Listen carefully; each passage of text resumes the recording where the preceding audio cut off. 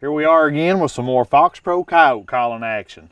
Two coyote stands for you, one from the Midwest and one from east of the Mississippi. And again, if you're looking for more information on our coyote stands, be sure to stick around to the end of this video for the stand breakdowns. We've had a pretty good couple days of hunting. We got one morning left, Jeff. We might as well kill at least one or two more, haven't we? I can tell you. It's like, uh, was it, 60, 62 degrees this morning. Pretty calm. So that can sometimes cause us a little bit of trouble with thermals floating around, but I'm sure we'll be able to fight it a little bit, and get some coyotes called in, so you guys stay tuned. Hang it right off that fence post like that and see what we drag up out of that big draw down there.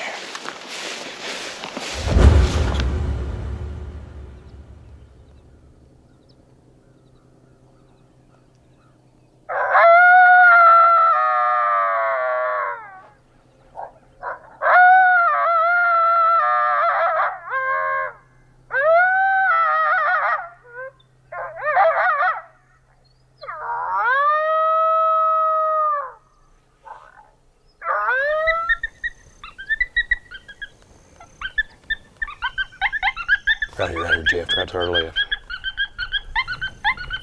It's coming through the tall grass now.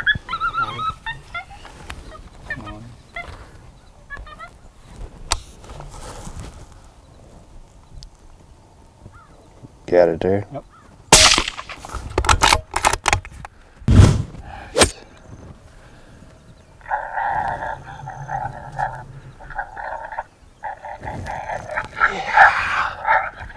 That coyote not wind us?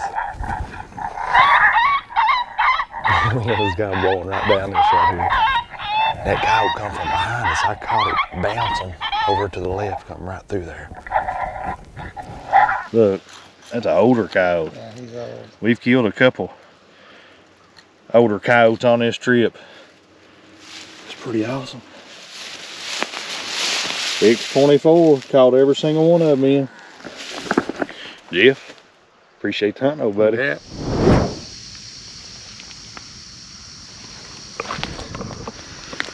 That's some hot sign right there. We're back in central Kentucky, making a couple mid-morning coyote stands. Come along with us, see what we can call up. I really like our setup right here. That road we just walked in on, full of coyote tracks going up and down it. Got a head of a holler right here. A ridge runs out to the right there. It's got corn on it, standing corn. And then we've got a hayfield runs out to the left at a ridge. Play on a little bit of rabbit. See if we can't call something out. We killed one last week to prey to stress, so it's time. It's cool this morning.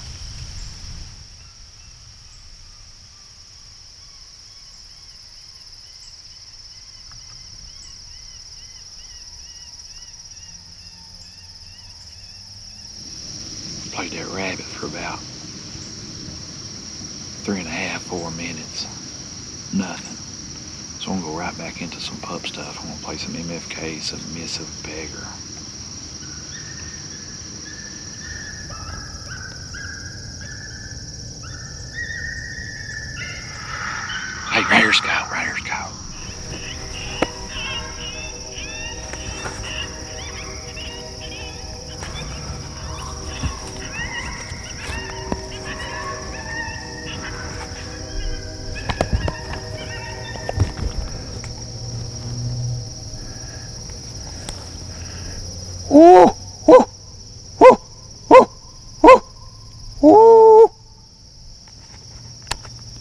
Whoa!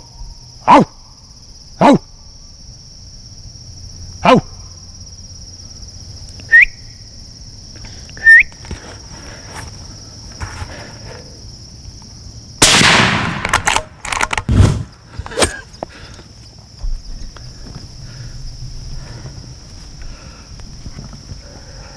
Like to have never got that coyote to stop. What about that? I am shaking like a leaf.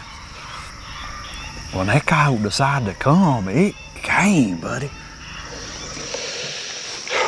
That coyote there was on a mission. Come within steps of the X24 and finally, finally got it stopped within steps of the X24 and was able to get a VMAX in it. That's a pretty coyote right there. Excellent shaped coyote. On that first stand from Kansas, we pulled out the old fence post trick. That's one of the cool features of the X24 is that stand. It allows you to hang it from things such as a fence post to get the call elevated. We started that stand off with Fox Pro's female sorehouse. We ran that out and waited about two minutes. Then went right into MFK's Lil B 11 week pup. Didn't take long. We had an ancient coyote come from our left, come right through the fence, circled right there in front of our gun barrel. Got it there. Yep, coyote. Our second stand from Kentucky produced another hard charging coyote. We started that stand off with Baby Cottontail. Ran that sound for about four to five minutes. We then paused for 30 seconds and went right into MFK Submissive Beggar. We played that for two to three minutes, paused for 30 to 45 seconds after Submissive Beggar, and then went right into MFK's Fight Challenge. Kind of told a story. A rabbit caught by a coyote, two coyotes got together and some submissive sounds were going on, and then all of a sudden a full out fight. And sure enough, that coyote couldn't stand it, come rushing right in, running right up on top of the X24, barely got the thing stopped, coyote down. Thanks for joining us right here on Fox Pro Hunting TV.